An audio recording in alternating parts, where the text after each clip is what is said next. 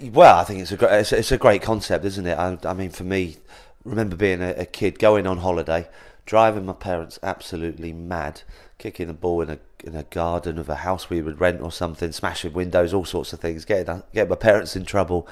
If this was around back then, I would have absolutely loved it. You know, walk it, go on holiday and play football as well. That, that's what it's all about. And of course, you know, it's great for the kids to have a little bit of a competitive edge as well, which makes them, you know, want to come here and do well and win trophies. That's what that's what the football's all about, and it's obviously a, a great, great concept.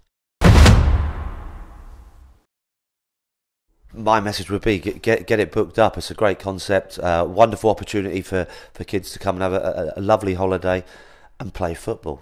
Doesn't get any better than that.